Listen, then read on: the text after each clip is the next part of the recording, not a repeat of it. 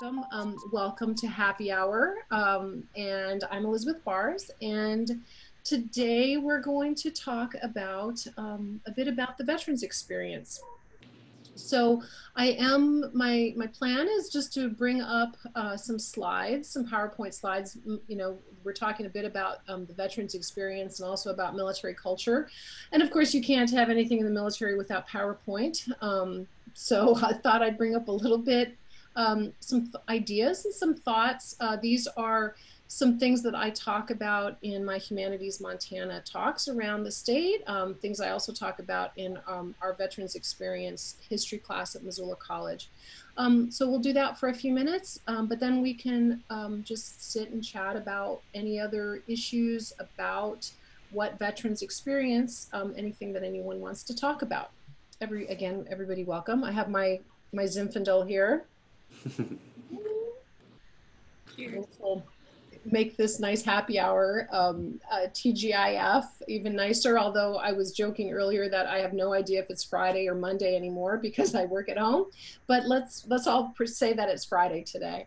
Um, so just a few things uh, I'll go through um, with this. Uh, things that I, we can talk about.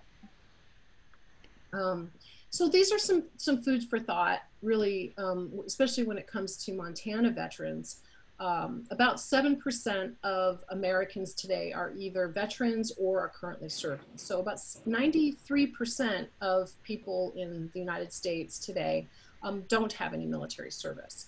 Uh, which plays into ideas today that there is a you know certain a bit of um, cultural disconnect between those who've experienced life in the military and those who haven't. In Montana, though, about 10% of our population uh, is our veterans. We have a very high per capita. The second uh, most veterans in the country are in our state. And if you count military families, somewhere close to a third of Montanans is either a veteran or related in an immediate family relationship with a veteran. So we do have a lot more understanding, I think, of the veterans experience here in our state. Um, but even then, uh, you're looking at another two thirds uh, of, of Montanans that may not know a lot about the military experience or what veterans experience when they reintegrate after service.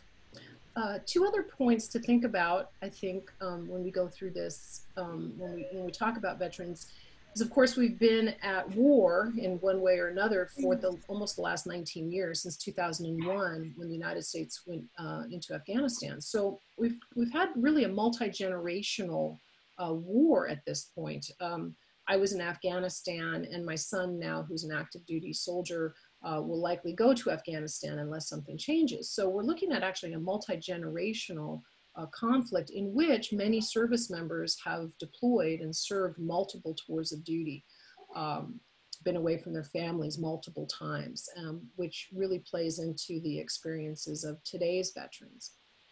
Um, one final thing that I, I, like to bring up a lot is this is also this um, really historical uh, tidbit, which you know you, we think about uh, uh, when we deploy a veteran to war or a veteran even in you know in the military, they're often very young. Of course, they're usually in their 20s, maybe their 30s.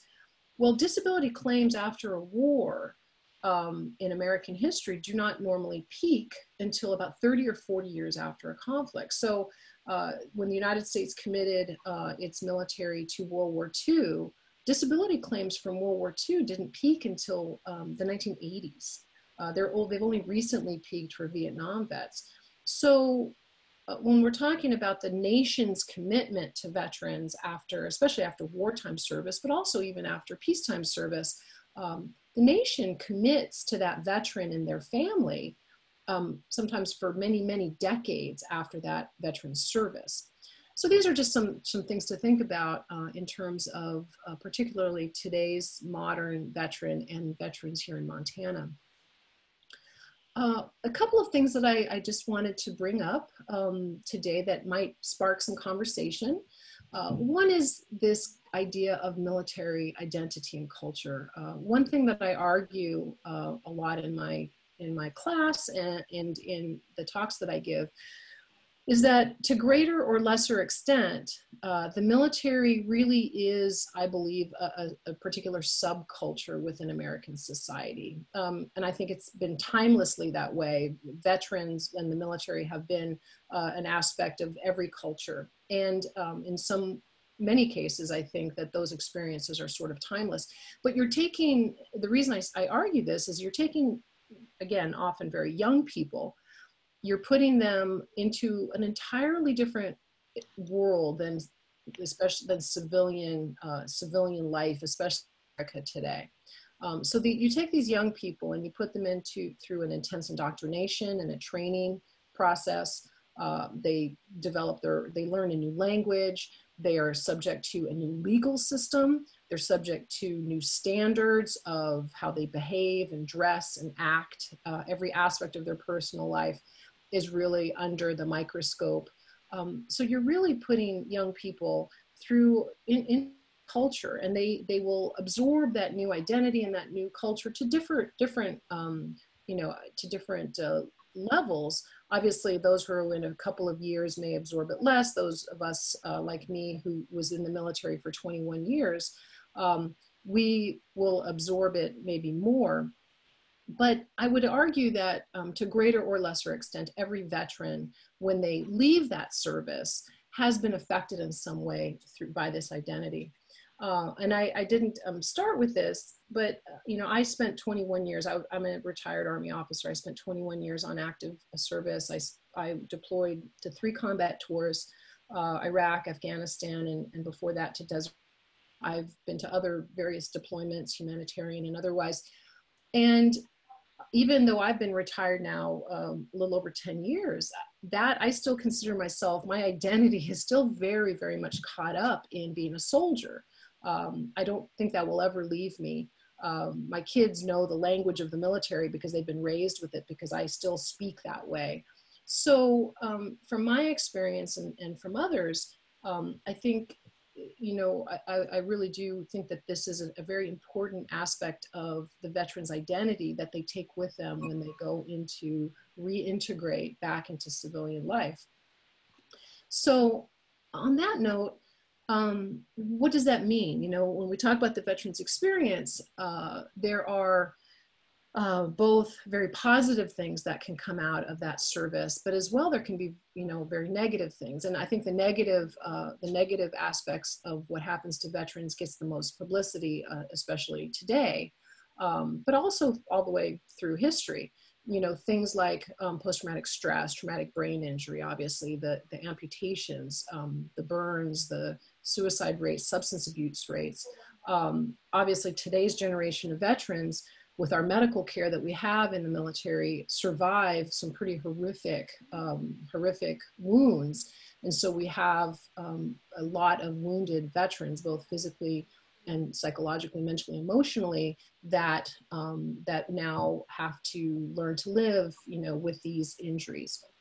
Now, uh, these, I think, these issues that I just mentioned, I think, get a lot of publicity. A, a couple of other things I'd like to just bring up today, though, that I think maybe get a little bit less publicity that I think are also very important. Um, and these are some things that we talk about in our Missoula College class. We have a History uh, 150 class at Missoula College, which um, was um, supported by Humanities Montana, and was we were given a grant at Missoula College by the National Endowment for the Humanities to offer this class. It is now actually a regular class in the University of Montana system. But these are things that we talk with undergraduates about, about what are these experiences that veterans go through. So a few of these that we talk about in our, in our course First um, is really the historic historical issues of veterans. Um, and you know even going all the way back um, to you know greek antiquity if you if you read the tragedies you know of sophocles obviously you read about the veterans experiences. But specifically in our class which is an american history class I think it's under underappreciated sometimes how vital and important that the veterans in American history have been to American political, economic, social, cultural development. So things like, for example, uh, you know, the the idea that that every at the time, um, you know, unfortunately, white men only, but white men could vote, that the common average man who didn't own property could vote was very much came out of the agitation of veterans after the Revolutionary War and the War of 1812. Um, the idea that the government could, uh, could or should provide disability benefits to its citizens, uh, the idea that it should pr protect people in old age very much came out of veterans benefits after every war in American history going back to the revolution. Uh, and so um, there's arguments by historians that you know the welfare state, if you want to call it that, really has come out of the experience um, of veterans benefits, um, including, of course, the, the GI Bill, the post the post uh, World War II GI Bill of benefits that um, that really built the American middle class with the education benefits and the, and the housing loans and everything that built suburban America and built the wealth of, of the middle class in the 1950s and 60s. Um, that is, is really a, an important part of the veterans, um, the veterans experience and a part of American history. And I would add really significantly today, which is Juneteenth, um, and I hope Americans are pausing to think about Juneteenth and, and the, the legacy um, of African Americans' contributions to, uh, to the United States for 400 years. If you look at um, really the, the 200,000 African Americans who served during the Civil War, um, the, you know, including 16 Medal of Honor winners, it was largely through their own service where they convinced Northerners, you know, as racist as the North could still be, that they deserve citizenship, not only emancipation, but to be treated as equal citizens. And it was African American veterans largely that convinced a lot of Northerners of their value as American citizens.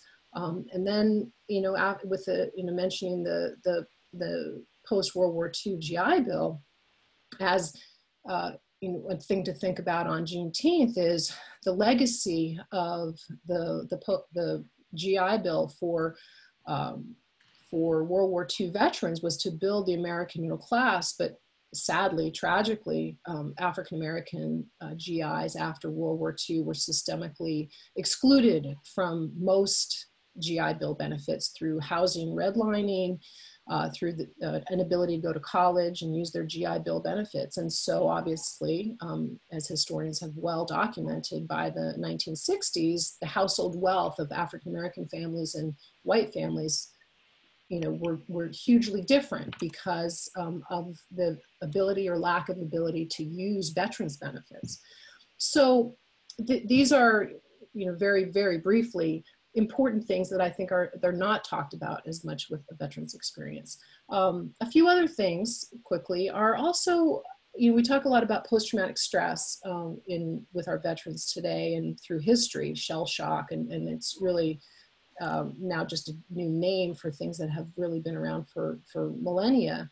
Um, but this, in addition to PTS, which is a fear-based trauma, um, there's a lot more work being done now studying veterans in terms of uh, the issue of moral injury.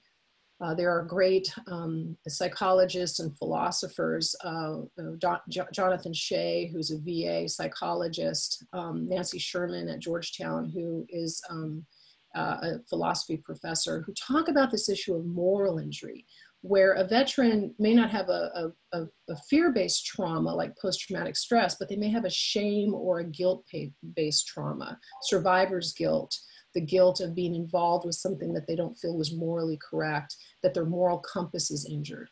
And I think this is another issue that um, needs much more research and, and, and um, you know, thought by American citizens looking at what war um, or military service can do to a veteran. Um, a couple of other issues, again, that, that don't get as much, um, are not as much talked about as things like as PTS or TBI, just the simple idea of alienation when veterans, we've talked about veterans going through this crucible of military training and a very intense formative experience when they're young, a camaraderie with a cohort of of young people that are probably very much that maybe they didn't start out alike but they become very much alike through military training and living together working together deploying together. And then you take them out of that world and you reintegrate them into uh, a civilian world. And many of them feel profound alienation. They feel an alienation in terms of habits and self you know in the discipline of day-to-day life. The, the civilian world, many veterans will say, is, is very noisy, um, is very chaotic as opposed to a military lifestyle. Well, you it could be very chaotic as well and very noisy, but in a very different way. Um, in some ways, war and, and military service can be very simple.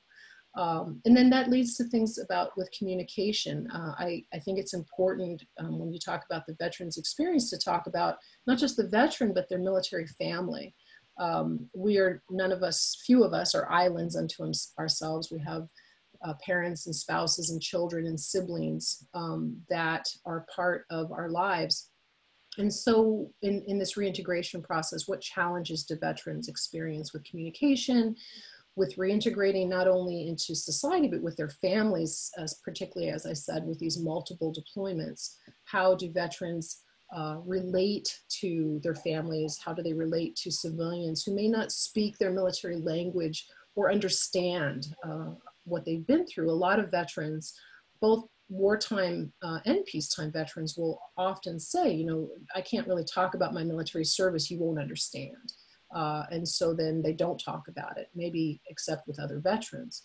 And that's, uh, I think, another common theme. And then finally, one other thing I think is really great to talk about with the veterans experience are not only these challenges that veterans experience, but also the incredible resilience and post-traumatic growth that uh, veterans can experience.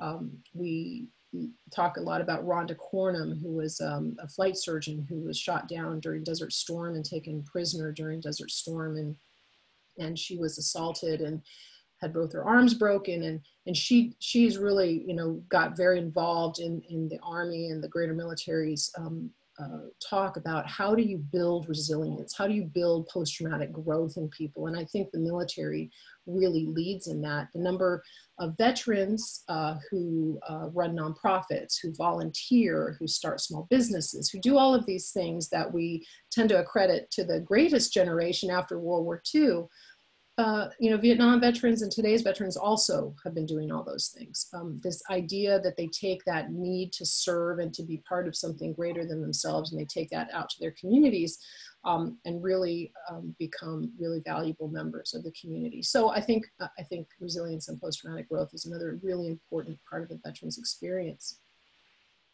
Um, and then briefly, I think one way um, if for people to understand these issues, to understand how do you understand an experience of someone in a culture that, let's say the military culture, if you've never, uh, if you've never been part of that culture, how, you know, how do you understand someone in a different ethnic culture or religious culture if you've never been part of that?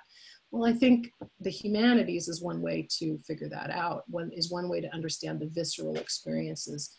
So history, literature, philosophy, um, we use um, this book, Standing Down, uh, which is also here. It's a wonderful collection of excerpts, fiction um, and nonfiction experts, excerpts, a lot of them written by veterans, but also classics like excerpts from the Iliad um, that really talk to these veterans' experiences. Uh, I mentioned um, Sophocles plays. There's a wonderful project called, uh, called Theater of War where reading the plays of Sophocles, you can see that veterans like Ajax were going through a lot of the same anger issues that some veterans experience today feelings of guilt, feelings of survivor's guilt, all of these different things.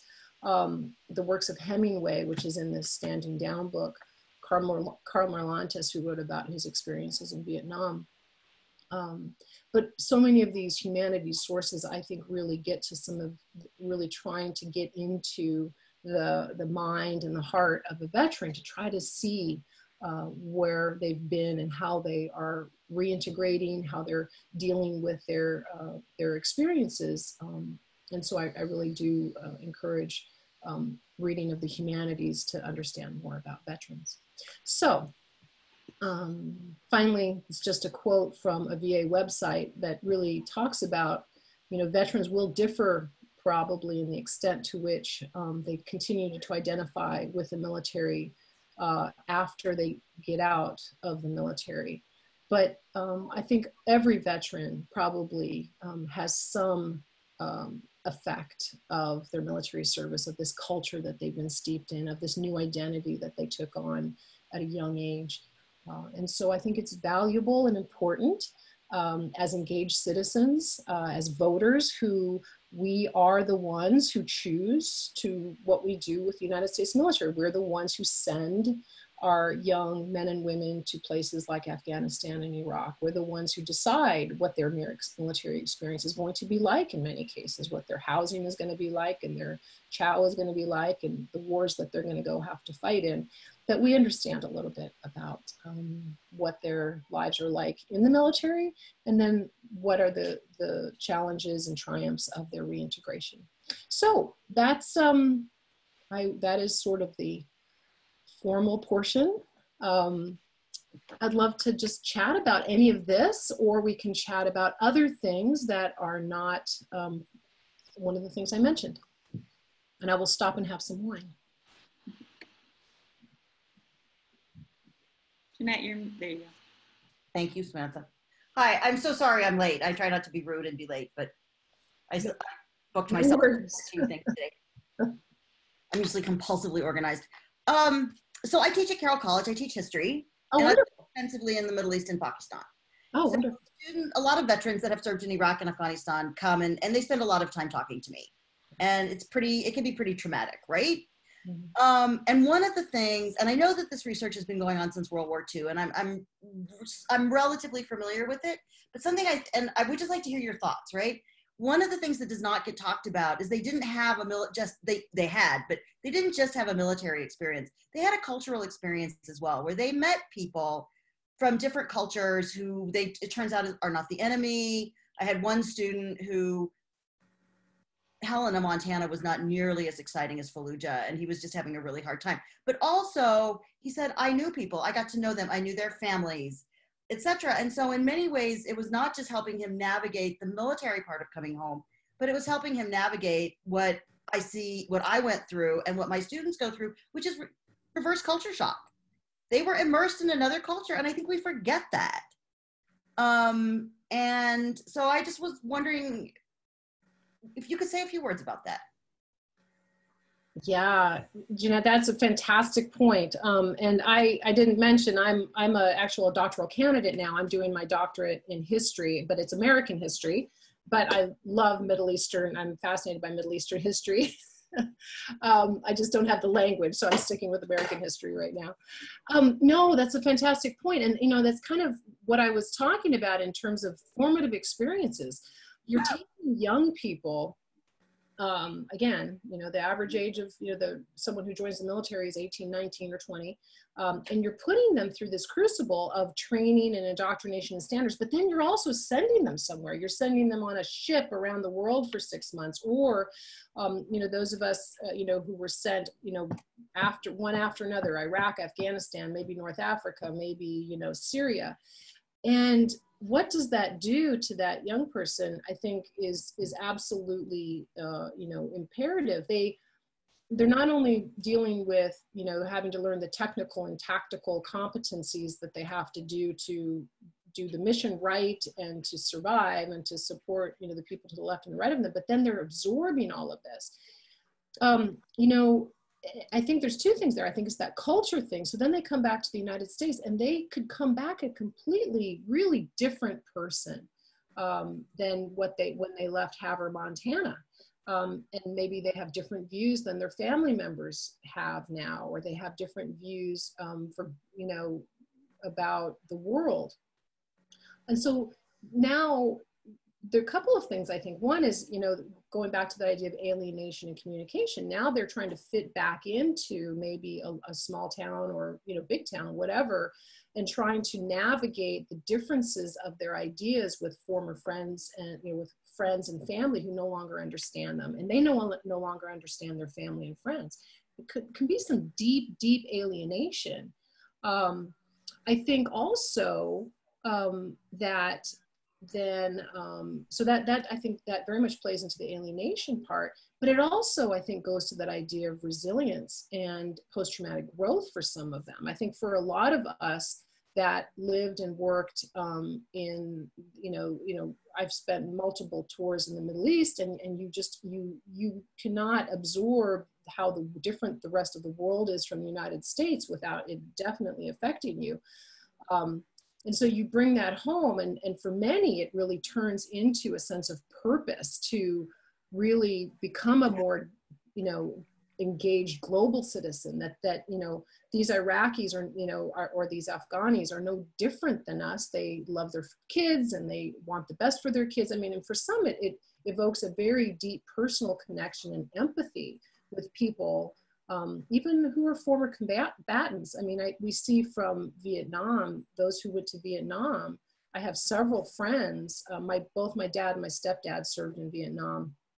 So both my, my dad, my dads were, were uh, Vietnam vets, but the desire of some of their buddies to go back and reconnect with, with people who were actually at the time combatants or villages that they, you know, think bad things happened.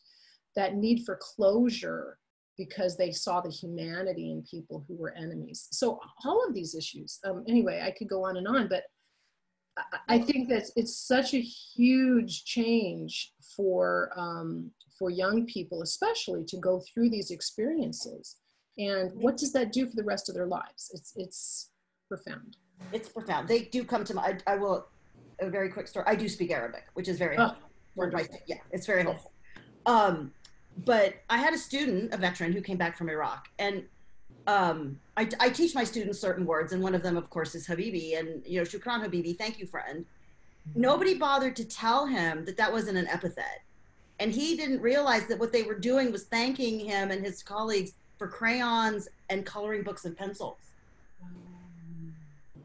And he's like, all they were doing was thanking me, and I said, pretty much. They just wanted to say thank you for these things right? And that was a form of deep kind of personal trauma for them but i always try to get my vets to share their experiences in my middle east and islam classes and yeah. they're terrific and they share their pictures which is even better. Yeah. Well and just i mean another thought on that though Jeanette, i think is is you would think about though you, you they've been through this experience when they're let's say they're 25 years old and then they come back to the United States and they go into a life that they go back, maybe they go, they use their GI Bill, they go to college. For a lot of veterans, though, that can be, that can spur them to do some pretty cool things with the rest of their life. But for others, they never feel that, they, they really have a hard time re-finding that sense of purpose. Um, you know, of that, that sense that they were really for you know sometimes trying to help another people i think i think i don't i mean you know for whatever you think about the Iraq war, I don't think any service member deployed to Iraq thinking that they were going to screw up the country more. They wanted to help, you know, they, and that's the nature, I think, of, of, of, thank goodness, of our service members. They want to help. And so, but refinding that sense of purpose when they come home, or that sense of excitement, that adrenaline rush, how, you know, why do so many veterans take up extreme sports after they leave the service? Because they're looking for that, you know, that adrenaline rush for the rest of their lives. Anyway, yeah, those um, great, great points. Thank you so much. Thank, yeah, you. thank you. Liz, I wanted to say, you know, not as a veteran, but as someone who's been overseas, I I feel very similar talking to people about my experience overseas, and um, I'm not trying to conflate my experience with with veterans' experiences, but um, I want to go back to that quote that you put up from the VA because I think the thing that struck me most about that quote is how critical it is for non-veteran Americans to um, be able to contextualize veterans' ex- experiences and be able to understand what they've gone through and, and sort of uh, get to a better place of empathy where they can actually engage with them. I think that's really, really important um, mm-hmm.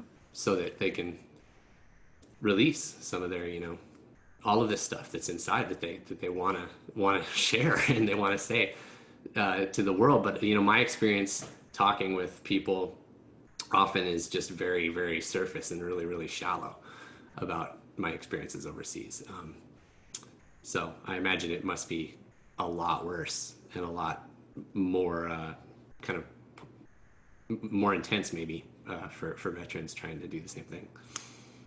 You know, I, Dylan, and I, you know, we've you and I, we've talked about this. I know you. I, I think it's very similar, though. I think you know anybody who's been experienced, you know, had you know experiences, for example, just you know living overseas, and vet, a lot, you know, a lot of veterans, you know, are overseas, not in combat. They're stationed in Germany or Italy or Korea or Japan, and they're going through these these experiences you know um, like you have living overseas experiencing other cultures and and then coming back and not knowing how to talk to people about you know not even just combat experiences but like you said that they they want to you know talk about the world differently and their own themselves differently vis-a-vis those experiences.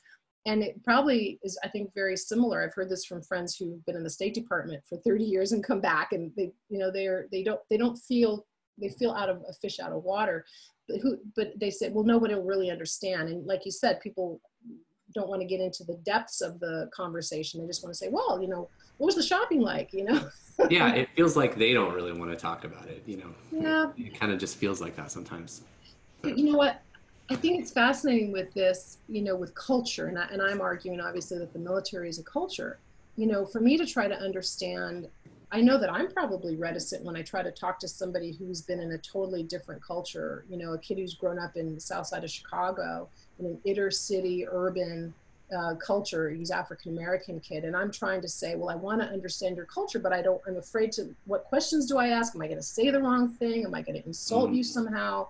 And so I think this is the same with vets. You stay on a very superficial level because you don't want to, you know, say, "Hey, did you kill somebody?" You know, you know, you know, you, you people. So you stay on a superficial level, but then the veteran or the world traveler or whomever doesn't feel like, or the kid from Southside Chicago doesn't feel like they, no one ever really is interested in what they really have to say.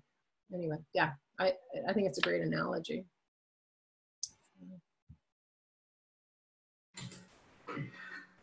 Liz, this is this is a little off topic, but we've heard the term uh, a term thrown around a lot in the last few weeks, especially the militarization of the police.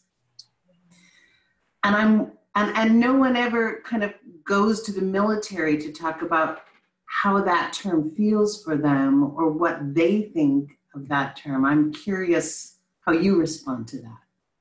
Yeah, that's uh, you know that's you're definitely getting into uh, a very a very um, obviously it's a political question. Um, it's a cultural question for those of us I think who've been in the military. Um, I mean, I can give you my personal take on it. Um, I'm just speaking for myself. I, I think um, uh, and I have a my my my stepdaughter actually I have a stepdaughter who is a cop. I have a she's a police officer, fine, incredible young woman who's a, a police officer in D.C. So she's I mean she's she's seen this stuff. I think um, there I, I think and she and I've had some conversations about this. There's got to be a huge difference between what the military does and what um, law enforcement does. Um, and a lot of us um, feel very uncomfortable, as I think a lot of police officers do. I know police officers that, and they're wonderful servants of their communities. Um, eh, you know, uh, that that you know, community policing and being part of you know supporting law law laws and the peace and supporting um, the running the social fabric of a community even. I mean that's what police do. So to militarize the police i think can be can be a very difficult thing. Um, it, it's not um you know to not to try to not be too overly dramatic about this the, the purpose of the military is to kill. I mean it, it just is. I mean that's what the military's purpose is um, obviously, the, the United States military does amazing things with humanitarian work and nation building and all of these really important things. But tragically, humans go to war a lot, and tragically, humans have militaries to fight their wars because um, we haven't figured out how to do anything else. So, Um, the purpose of the military is to bring lethal force into a conflict, um, and I think that should be that's a very different idea than than what the police do. So I think a lot of us in the military are very uncomfortable with this idea of militarizing police. Not that they shouldn't have whatever you know, obviously equipment they need, but it's a, it should be a different idea. Um, there's a saying in the military that don't forget you're you're never the wolf, you're always the sheepdog. Um, you're never the wolf. Um, you're there to protect. But the military, I'd go one further. I'd say the police definitely are sheepdogs. The military does is is they're designed to bring lethal force. Um, one other thing I think it's important to remember uh, because of this the recent political discussions.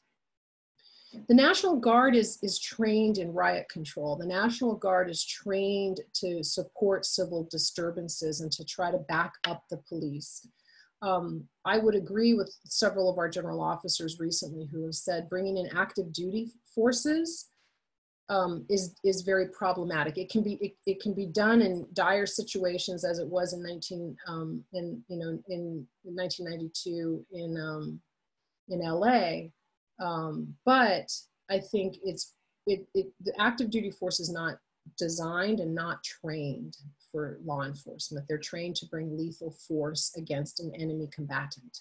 And so, you know, all of these issues I think are really important um, to remember. Um, and then finally, I would add just one thing. Um, putting our military in those difficult situations where they're called upon to do things that they're not designed to do is only going to make it difficult. It's going to it's going to increase that military civilian divide. I think, um, uh, I think it again it, it goes to more uh, if more Americans try to understand what the the missions and the purpose of the United States military is. I think it's better to understand the difference between active duty forces and National Guard missions. I think is important. Things like that I think help with these with these. Um, with these conversations and the, the critical idea that the military has got to remain apolitical. Um, in other words, um, don't put us to don't put the military in the middle of political arguments um, because um, if the you know it's just important that the, the, the American people can trust um, and trust its military and not be put into those political arguments. But anyway, okay, all of that. Does that kind of answer that? Do police have to um, deal with a lot more sort of um, violence in terms of militarization uh, in terms coming back at them in in inner cities more than ever before you know with guns in america. And i mean is that why they ramp up it does. I mean and I, yeah and, you know, that's a it is. I mean i think that, situations? Yeah i mean the fact that we've got the you know obviously with you know automatic weapons now you know in the hands of so many americans um, whatever you feel you know whatever people feel about the gun debate yeah, the firepower on American streets is crazy. Um, but you know, and again, I'm, I have no experience and no expertise in law enforcement, but there's still, you know, uh, there's still the, you know, I think um, a difference between bear, you know, even with a number of, of you know, of weapons um, that are military grade weapons that civilians now own, or even some criminals have. Um, it's still, I think, difficult um, in a in a situation to bring that kind of it's, it's it's the you know that idea of the militarization in terms of bringing lethal force into a community policing situation i think has still got to be problematic. But yeah it is it's tough. I mean these are tough issues that um, that we have in the country obviously. I think about my brother-in-law who's in missoula and he's a great police officer too and you know he's but he's also interested in and, and training in SWAT and yeah has police dogs and you know even some of the the things that um, I've seen in Missoula on Missoula, Missoula streets have been kind of shockingly. Yeah, you know, it it reminds me with the the disturbances recently. Um, it, it some of it obviously and I've and I've talked to my my stepdaughter who has been in DC with the horrible property damage and the cops getting stuff thrown at them which was horrible. I mean to think you know just the people the opportunists that are taking advantage of peaceful protests and the you know the, the ones that are out there um, doing things.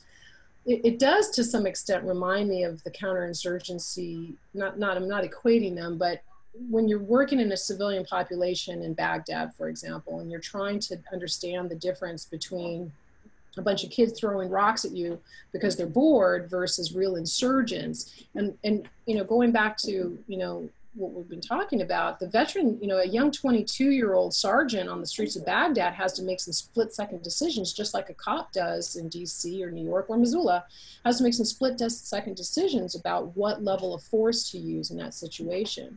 Um, and I think, and again, I, I don't know anything about law enforcement. I, I think, though, the same way that we've asked our young sergeants and lieutenants to gain the trust and confidence of villagers in villages in Afghanistan and people on the streets of Baghdad and Fallujah um, to try to navigate those really difficult situations and become, in some ways, police, but really to gain trust and confidence um, in that in that place it's sort of the same things we're asking police to do in some pretty in rough, you know, in rough situations too. So yeah, there are parallels with counterinsurgencies, I think. Um, but again, going back to this idea that I think we still have to be careful um, about these are we're not talking about people in Iraq, we're talking about fellow American citizens. So it's these are these are tough. These are tough ideas.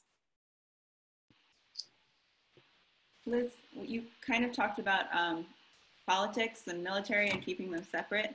Yeah. And I was thinking, um, you know, when I see movies or like the popular cultural representation of people in the military, it says like um, like conservative um, Republican, kind of like very conservative white men who like have this strict rule in their family or whatever it is. Like that's what I think of first. But um, all of the veterans that I actually know personally are very progressive and liberal. Could you talk a little bit? Like, I mean, that's just from my perspective, but what do you see? Yeah, you know, that's it. Yeah. Um, well, first of all, I think if any political party, say again, what, Dylan? No. No, no, no. I think um, I think if any political party or politician thinks that the military is all on their side, then they probably are not paying much attention or don't know much about the military. I mean, I think there's two things. I think first of all, the military very much represents American society at large. You have extreme progressives and you have very conservative, you know, conservatives. And not that those labels, I don't even know what those labels mean half the time anymore with our politics today. But anyway, um, uh, there's a couple things. So I think that I think that the the average um, person in the military very much reflects the full spectrum of American politics. Um, I mean, if you know, if if uh, the you know back in the Reagan days, a lot of people would say, "Oh, well, the military only votes you know Republican." Well, because you know they thought that the the you know the price the um, their their salaries, the cost you know cost of living adjustments and salaries were only going up under Republicans. The military pay has gone up under both. You know, our military budgets have been great under both. You know, R's and D's, and the VA has been supported by R's and D's. So all of that I, I, don't think plays any more than it as it did in the 1980s. But I think a couple things. Um, again, I think that people in the military represent every political persuasion. I think that um, a lot of military, like me, I didn't vote for 21 years when I was on active duty. It's just sort of a tradition, I think. I think especially for officers and, and non-commissioned officers, we don't, a lot of us don't tend to vote when we're on active duty. Um, but some do, and if they do, that's great. Um, but I think it's uh, going back to this idea of indoctrination. I believe a lot of veterans are really, really, really trained um, and inculcated with this, these ideas of respect. Um, like Jeanette said, they are introduced to the world, most veterans. They see the world, they, they visit places, they see um, that people in these countries are very much like them and have the same hopes and dreams and fears that they have. Um, so I think a lot of veterans, um, whether they vote R or D or Green Party or whatever they vote, you know, they, I, I think a lot of veterans that I meet personally also are very concerned about character and thing, issues of character and respect for their fellow man. You, you, it is drummed into you you know, in the Army values, as I had, I think, in one of my slides, loyalty, duty, respect, selflessness. honor, integrity, personal courage. I mean, honor is something that you actually talk about all the time in the military. Um, being honorable, caring about your fellow man, being respectful. So whether um, you're on the far left or the far right or somewhere in between, um, I think it is, I, I, see a lot of veterans that do care a lot about those issues, I think, um, of, and, and the reason I'm saying that is like General Mattis has said, and, and my former boss, General uh, Martin Dempsey, one of the biggest concerns I, I hear more about veterans right now is not as much about whether, you know, conservative policies or, or progressive policies, but about the fraying of American togetherness this idea, you know, we take kids from inner city South Chicago and rural Georgia and surfer kids from Santa Cruz, California, and we turn them all into soldiers in the army. I don't care where you're from. I don't care what color you are. I don't care what religion you are. You are, we turn you green and we, and we care that you all work together as a team. And I think it's what's really disturbing for a lot of vets is to see the divisiveness in our politics. Um, this is personally, this is just me talking, but I I think a lot of veterans on, on the left or right, that's what really bothers them is that we have fought and supported the Constitution and, and love our fellow citizens, and to see people at each other's throats is really disturbing. Um, and that's the danger right now. Um, but anyway, I could go on. I'll stop.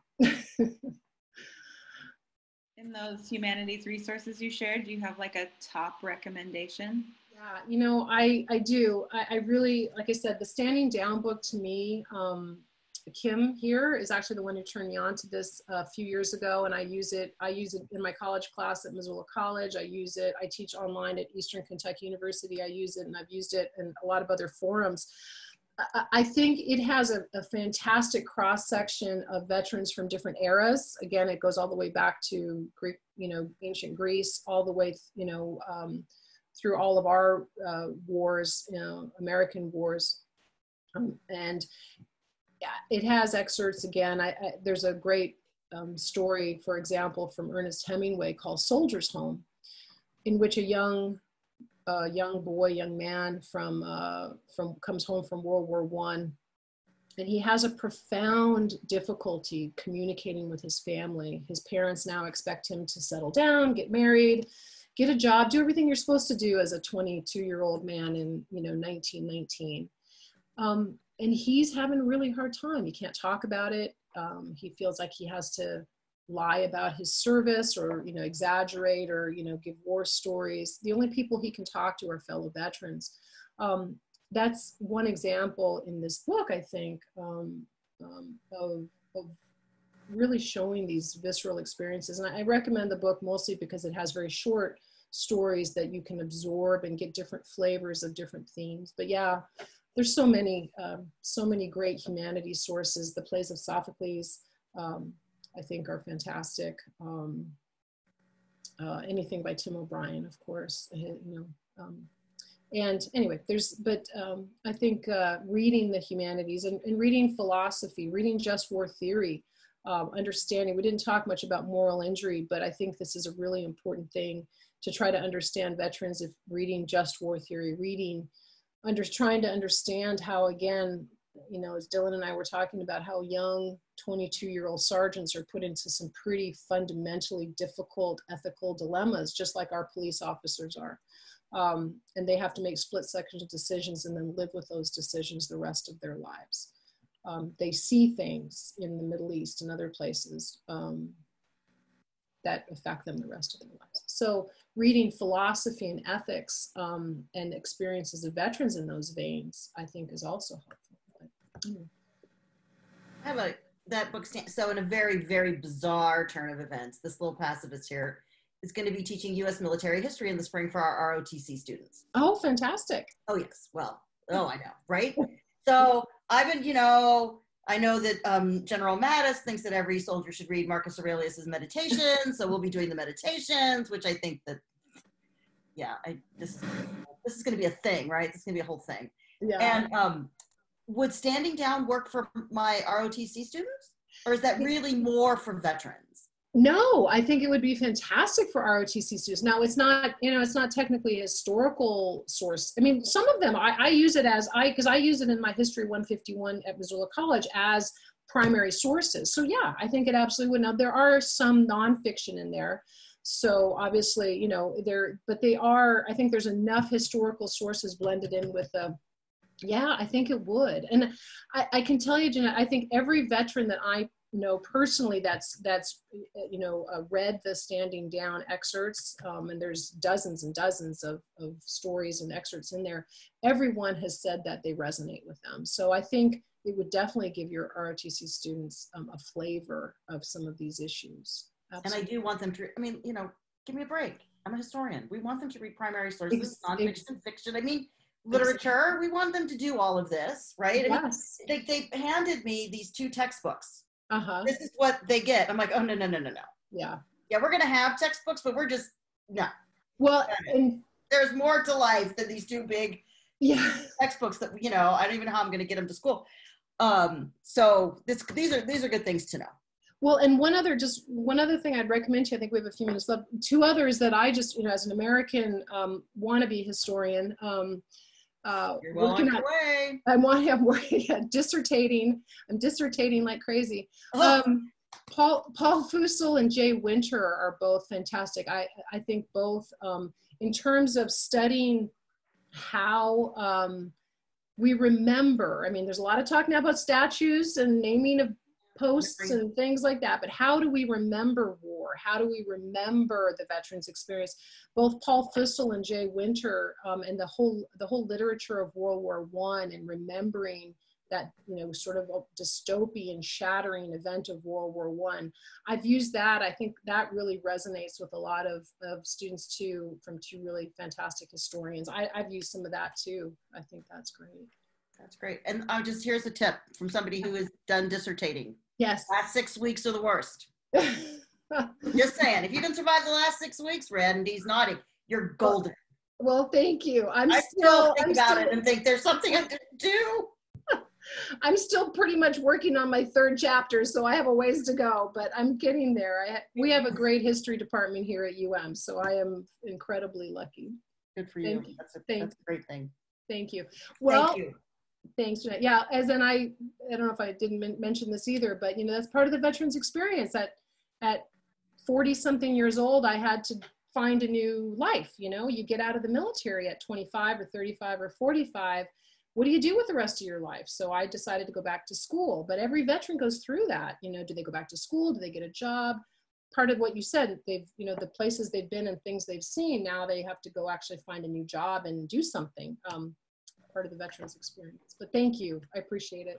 I wanted to, t- to talk more about the painting in the slides on their on your presentation. You know, and I um, so uh, Professor Matt Semanoff at UM actually helps with our our course, and he comes in and talks about Philoctetes and Ajax and the Greek tragedies, where all I can tell you that I know about this. So again, um, I'm 20th century American history, but Ajax um, comes back, uh, you know, from war, and he ends up slaughtering his animals. He goes into a rage and slaughters his animals. Um, we actually had an incident at Fort Drum when I was there, Fort Drum, New York, um, where a soldier killed his dogs. You know, had coming back from from uh, being deployed, and it, at the time it was profoundly reminded me um, of of Ajax's story. Um, so I don't I don't know much more about it, but I've met so many veterans when they when they read thing you know excerpts of Odysseus or you know the tragedies the Greek tragedy tragedies said oh my gosh veterans have been experiencing these same things for 2,000 3,000 you know 3,000 years. Um, so that's why I put that in there. Yeah. Lisa the one other thing though would be I don't talk about art at all but so many of our veterans um, here in Missoula, especially, get involved in so many projects of art is another way to sort of express um, uh, their experiences and how they relate to their military experiences. My background is in literature, so I'm actually um, closer to um, the understanding of it through literature. Um, I, I would agree that Standing Down is a fantastic book. I would have taught it in a college class easily. Um, just like it is a solid, um, you know, primary source across um, lots of different viewpoints. Um, takes under takes um, a lot of perspectives under consideration and, and really gives great questions at the end that start discussions. I mean, we used it for a while in a humanities Montana group. Um, the the using art as healing has been coming up a lot um, in the last couple years, and I've been I've been intrigued by it, but I haven't been involved in it. But um, I think that because art asks you to step outside yourself a bit, um, that the empathy aspect of it um, is really healing for a for a lot. And you know, when I was teaching literature, I taught Wilfred Owen quite a lot, and and the literature of World War One quite a lot. And I think that that the literature of World War One is excellent, and it also um, is. I found it distant enough. Um, where World War II, like people's grandpas are still part of it. So there's a, like they're thinking of their grandpas, but nobody has a direct connection to World War One anymore so it's there's a way that you can that you can learn. It's it's close enough but you can still um, i don't know. I just found it more powerful um, and it was in so many ways the first time people were um, really not had their um, values questioned in in such a major way. So to to think about it um, using World War One literature to um, confront people questioning their own values is, I think, terrific. Um, so I thought the Standing Down book had, um, I, I had taught literature of World War One for 10 years or so, and I thought the Standing Down um, selections were really good. So two thumbs up recommending that book. yeah, no, that's fantastic. Yeah, Wilfred Dulce et Decorum Est is in Standing Down. I mean, I, I had not been familiar with him until I actually started, you know, doing this, and wow, incredibly powerful, mm-hmm. incredibly powerful literature. Thank you all for being here. Um, it was a nice small group, and thank you, Liz, for your presentation. I felt yeah a lot. It's really interesting. Thank, thank you. you. Well, thank you. I appreciate all. I appreciate it, and this was great. I um, it was lovely to see everybody um, and to re- meet new people that I haven't met. So thank you all very much.